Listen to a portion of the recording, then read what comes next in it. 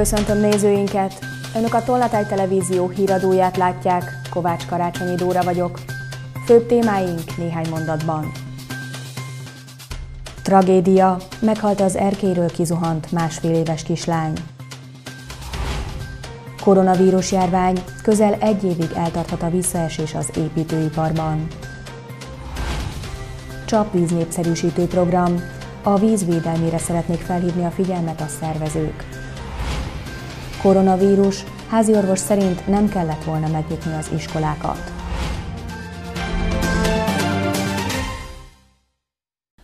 Meghalt a kórházban az a 21 hónapos kislány, aki hétfő délután esett ki eddig tisztázatlan körülmények között egy harmadik emeleti lakás erkélyéről Szexárdon. A rendőrség nyomozást indított ismeretlen tettessel szemben kiskorú veszélyeztetése büntet elkövetésének gyanúja miatt. Mentőhelikopterrel szállították a Pécsi kórházba azt a másfél éves kislányt, aki kiesett egy lakás harmadik emeleti erkélyéről Szexádon a Tarcsai lakótelepen. Az orvosok sokáig küzdöttek a kislány életéért, ám az éjszaka során belehalt sérüléseibe. Ennek a tarcsai lakótelepi társaság erkélyéről zuhant ki a 21 hónapos kislány hétfő délután. Úgy tudjuk, az édesanyja otthon volt a tragédia idején, az apa pedig éppen a lakás főbélőjének adta oda a havi bélleményt a ház előtt, amikor kiesett a kislány az erkélyről. Úgy tudjuk, hogy a szülőknek van még egy gyermekük, aki az eset idején éppen iskolában volt. A helyiek látták, ahogy az édesapa szólítgatja az eszméletlen gyermeket, majd a karjába veszi. Akkor az édesapja eh, látta, hogy jött hazafele pont, és az rohant fel a mentőkhöz. Továbbra sem tudni, hogy pontosan hogyan zuhant ki a kislány az erkélyről, annyi bizonyos, hogy az erkélyen levő rács hiányos volt. Az eset körülményeit a rendőrség vizsgálja. Az elsődleges adatgyűjtés során megállapították, hogy a Tarcsai Vilmos utca egyik épületében a harmadik emeletről ismeretlen körülmények között esett ki a 21 hónapos kislány, aki ugye életét vesztette. Az eset körülményeit a Tolna megyei rendőrfőkapitányság bűnügyi igazgatóságán vizsgálják, ismeretlen tettessel szemben kiskorú veszélyeztetése büntett. Gyanúja miatt indítottak büntető eljárást. A hatóság a szülőket egyelőre nem gyanúsította meg semmivel, mert egyelőre vizsgálják, hogy szerepük volt-e a kislány kizuhanásában. Információink szerint az édesanyja sokkos állapotban van, a helyi pszichiátrián ápolják. 341 újabb magyar állampolgárnál mutatták ki az új koronavírus fertőzést, ezzel 9304 főre nőtt a hazánkban azonosított fertőzöttek száma, közli a kormányzati tájékoztató portál. Elhunyt egy idős krónikus beteg, így a halálos áldozatok száma 626 főre emelkedett, 3972-en pedig már meggyógyultak. Az aktív fertőzöttek száma 4706 fő, Tolna megyében 87-re nőtt a beazonosított fertőzöttek száma. Látogatási és intézmény elhagyási tilalmat rendelt el az országos tisztifőorvos az ország minden szociális intézményében. A közlemény szerint a hétfőtől elrendelt látogatási tilalom alól csak abban az esetben adható felmentés, ha valaki végstádiumú hozzátartozójától szeretne elbúcsúzni. Az intézmény elhagyási tilalom nem vonatkozik az éjjeli menedékhelyekre és a hajléktalanok átmeneti szállására, tették hozzá. Az intézményeket csak indokolt esetben, például munkavégzés vagy egészségügyi ellátás miatt, valamint a vezető engedélyével különösen indokolt esetben lehet elhagyni. A fogyatékos emberek, illetve a pszichiátria és szenvedélybetegek ellátását biztosító intézmények szervezett szabadidős célral ugyanakkor elhagyhatók, hívták fel a figyelmet. Nem kellett volna megnyitni az iskolákat, mondta Barna Györgyi Tolnaváros vezetőházi orvosa. Véleménye szerint könnyelműbben veszik az emberek ma a vírusveszélyt, mint tették az első járvány idején. Sokkal rosszabb a helyzet, mint az első hullámban volt, ilyen, ilyen értelemben, tehát én biztosan bezárnám most az, azokat az intézményeket, iskolákat, óvodákat, amik az első hullámban. Barna Györgyű Tornaváros vezető orvosa azt mondja, sokkal könnyelműbben kezelik az emberek a jelenlegi helyzetet, mint tették azt a vírus megjelenésének idején.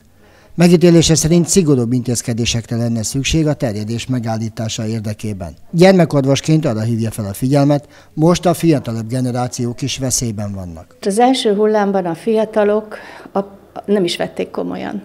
Ez volt a tapasztalat, a fiatalokat egyált, egyáltalában nem érdekelte, mivel mindig arról szóltak a híradások, hogy idős betegek, elhunytak, stb. idős otthonok.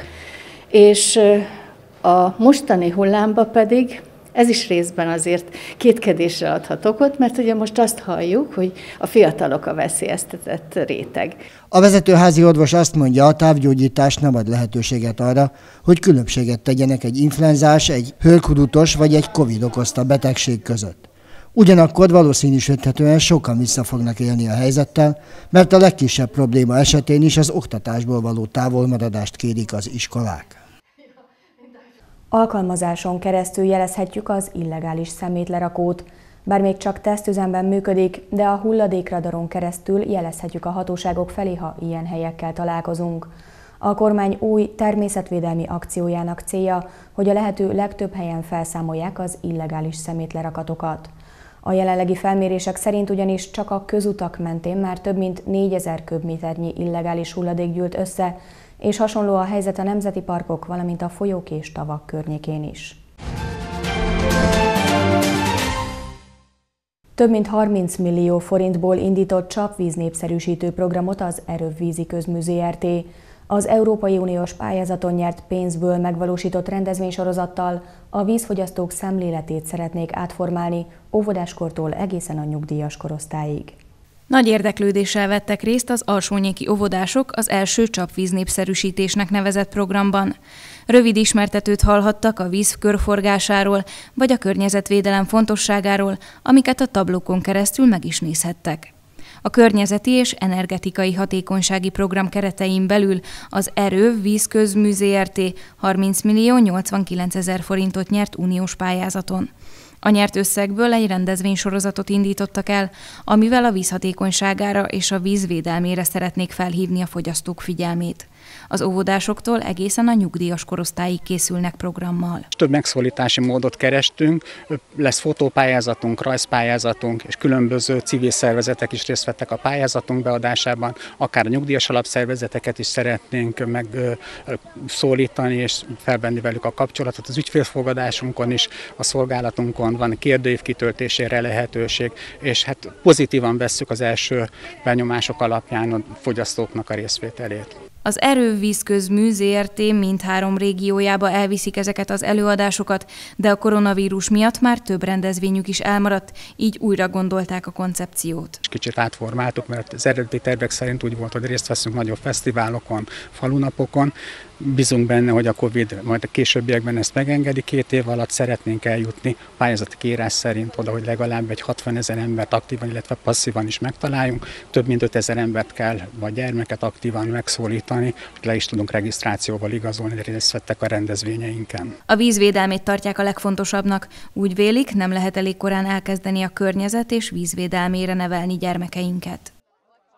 Lezárult a kormány népszerű 5 milliárd forintos keretösszegű elektromos járművásárlás támogató pályázata, de úgy döntöttek, hogy további 882 millió forinttal támogatják az elektromos autóvásárlást Magyarországon.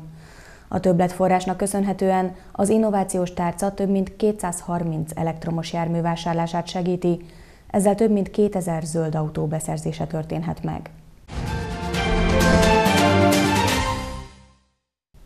Az állami megrendelések jelenthetnek mentővet a hazai építőipar számára a koronavírus járvány második hulláma idején. Ezt a tamási székhelyű Tambau Kft. ügyvezetője mondta stábunknak.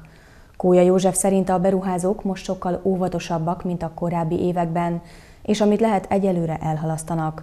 Ez pedig súlyos károkat okozhat a hazai építőiparnak, ezért most növelni kell az állami és önkormányzati beruházások arányát.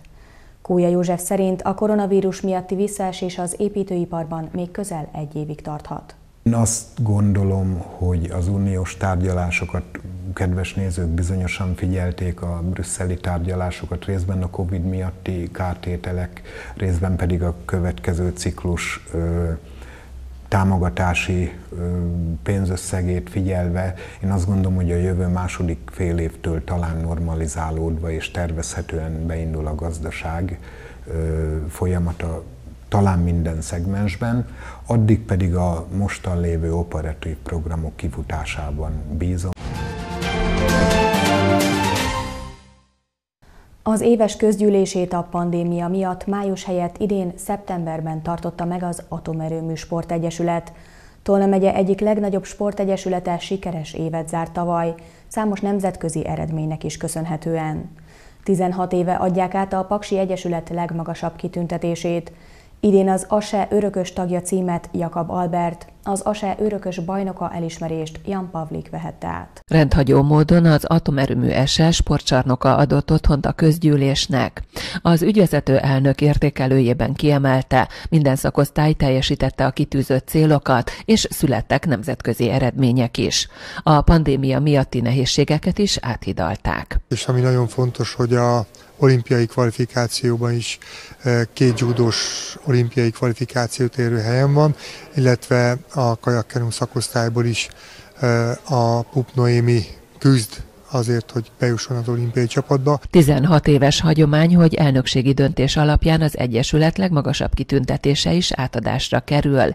Idén az ASE örökös tagja elismerést Jakab Albert, a természetjáró szakcsoport vezetője vehette át.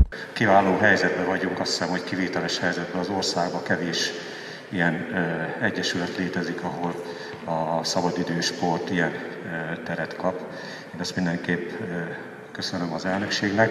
Az ASEM örökös bajnoka címet Jan Pavlika, a kosárlabda szakosztály vezetője, felnőtt csapat másodedzője kapta, aki több mint hat éve fejezte be sikeres aktív pályafutását. Jan Pavlik és az ASEM most azon munkálkodik, hogy több Tolna megyei település összefogásaként egy regionális központ létrehozásával még sikeresebb legyen a kosárlabda sportág. Regionális híreinkkel folytatjuk a híradót. Elhurcolt magyarok 30 éve emlékeznek a gulág áldozataira. Megmentenék a Pécsi Kortárs Galériát, aukciót tartottak a felajánlott műtárgyakból. Falunapot tartottak és a templomépítésre emlékeztek, ünnepeltek a felső Egerszegen élők. Közel 800 ezer magyart hurcoltak a Szovjetunióba 1944 után, Politikai vagy vallási meggyőződésük miatt koholt vádakkal száműzték őket a gulágra, ahol több éves, sokszor több évtizedes munka várt rájuk. Mint a Szovjetunióban volt magyar politikai rabok és kényszermunkások szervezetének 30. országos találkozóján elhangzott, az utódok feladata az, hogy ébren tartsák a történelmi emlékezetet. A Magyarországot elfoglaló szovjet csapatoknak, amelyeket hosszú időn keresztül felszabadítóknak illet nevezni, egy feladatuk volt, fölépítetni egy lerombolt Szovjetuniót azokkal, akik állítólag lerombolták azt, és ezt kényszermunkával tegyék meg. És mi lett ennek a következménye? Ebből az országból százezreket hurcoltak el, Szakály Sándor anyai nagyanyját is elhurcolták, de leugrott a szekéről, ami elvitte volna, idézte a Veritas Történetkutató Intézet főigazgatója. Lőttek utána, de ő megélte, átélte, túlélte, nem találták de vajon hányakat találtak el, és hányan maradtak ott a bányákban, mert legtöbben bányákban, ipari üzemekben dolgoztak, és hányan lettek egyszerű hadifoglyokból gulágra elítéltek mintegy 800 ezer magyart hadifogolyként vagy internátként hurcoltak kényszermunkára az 1940-es évek közepétől a Szovjetunióba. Őket a kiépülő kommunista diktatúrában politikai vagy vallási meggyőződésük miatt koholt vádak alapján száműzték több évre a gulágra. Rájuk emlékeztek a Szovjetunióban volt magyar politikai rabok és kényszermunkások szervezetének 30. országos találkozóján.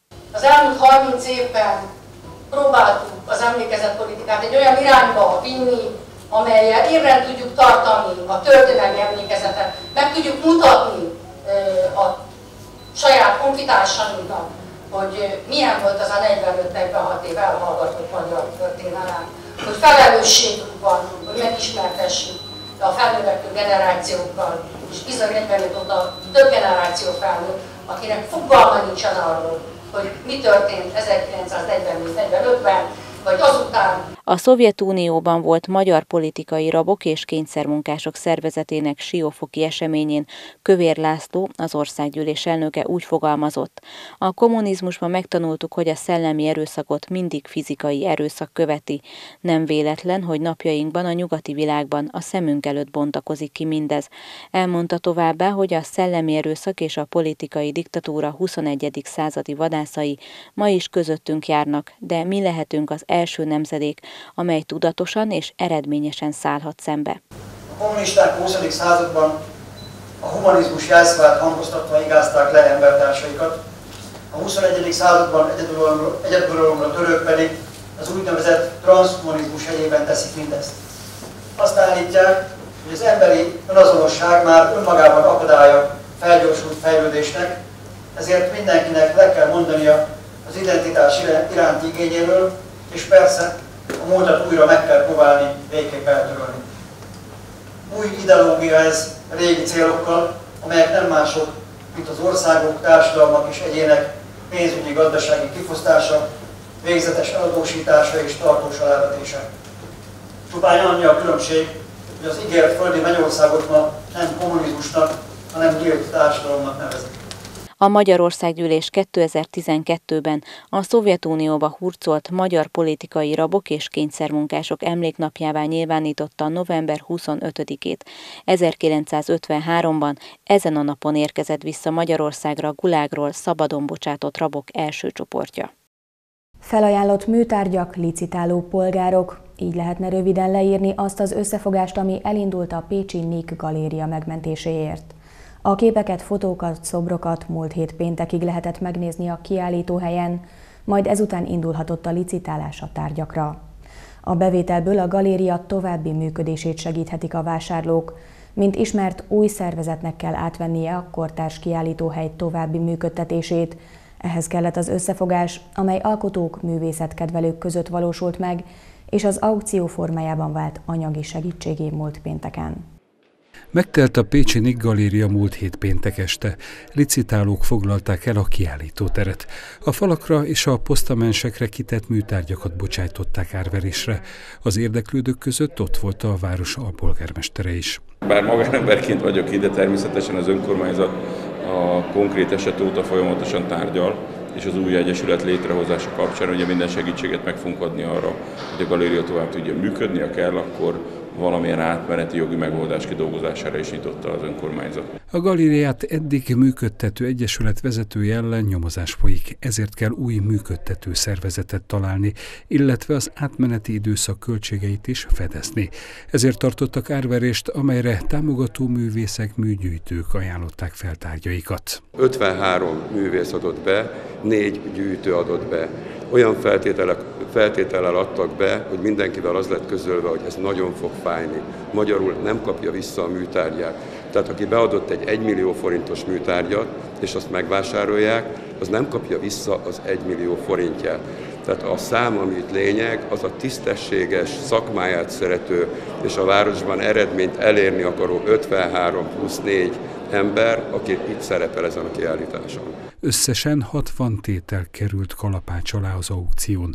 Egy helyi művészekből és művészetpártolókból szerveződő új Pécsi Civil Egyesület lehet a kortás kiállítóhely további működtetője, akik elkötelezettek abban, hogy megtartsák ezt az izgalmas és pótolhatatlan galériát, hangzott el az eseményen.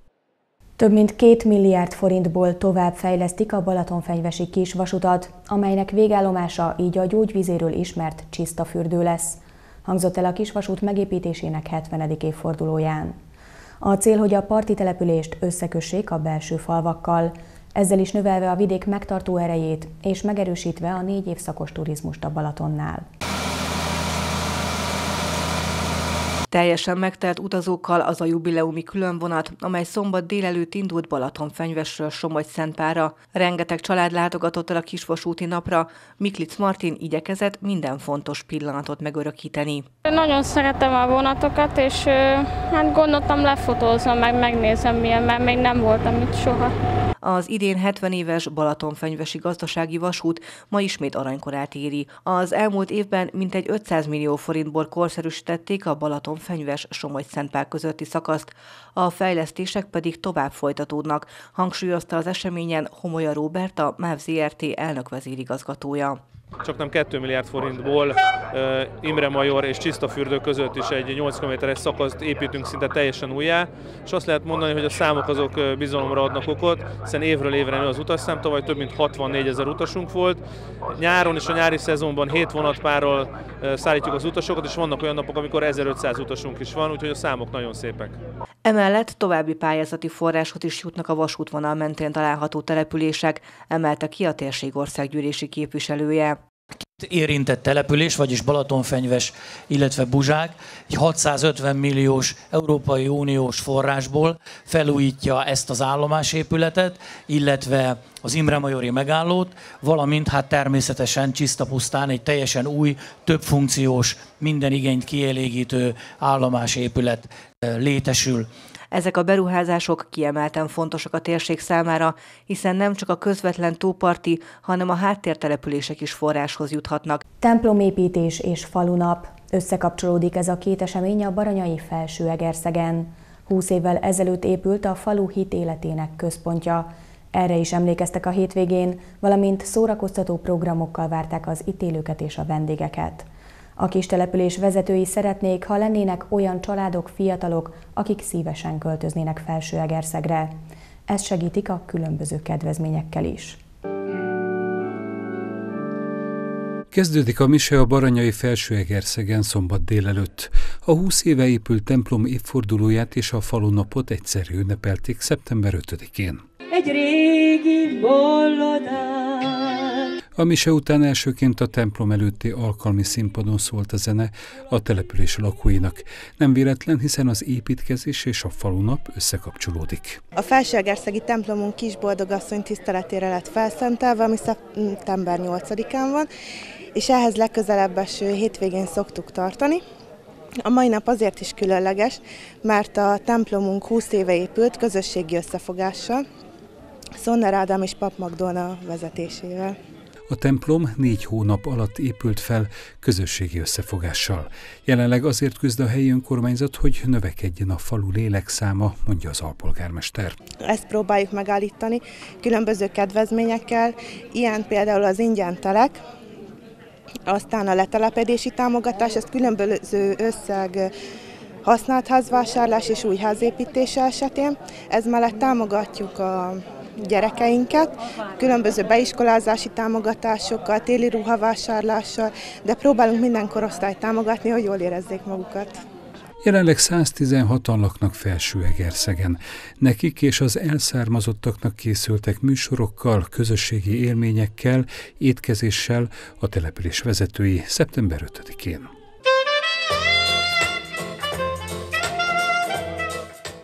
És végül nézzük főbb Tolna megyei híreinket még egyszer röviden. Tragédia. Meghalt az erkéről kizuhant másfél éves kislány. Koronavírus járvány. Közel egy évig eltarthat a visszaesés az építőiparban. Csapvíz népszerűsítő program. A vízvédelmére szeretnék felhívni a figyelmet a szervezők. Koronavírus. Háziorvos szerint nem kellett volna megnyitni az iskolákat. Szerdán folytatódik a derült, szikrázó napsütéses időjárás. A hűvös hajnali órákat követően gyorsan emelkedik a hőmérséklet, kellemesen meleg idő várható. Éjszaka sem várható változás, marad a felhőtlen, csillagfényes, hajnalban hűvös idő. Friss hírekkel legközelebb szerdán este jelentkezünk. Addig is kövessék műsorainkat, illetve keresenek minket a Facebookon, ahol naponta friss hírekkel, érdekességekkel várjuk Önöket. Ha látnak valamit, ami Önök szerint figyelemre méltó, akkor azt osszák meg velünk, hogy másoknak is megmutathassuk. Mára köszönöm figyelmüket, viszontlátásra!